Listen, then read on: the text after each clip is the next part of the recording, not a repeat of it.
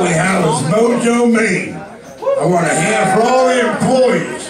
Jeff, and uh, that's all I got.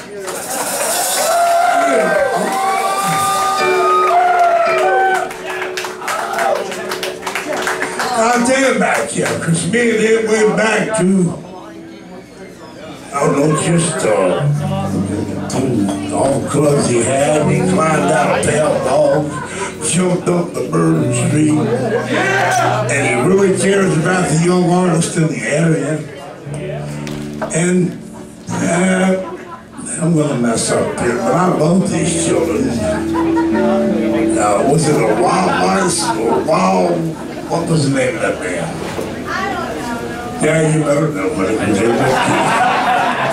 Was it a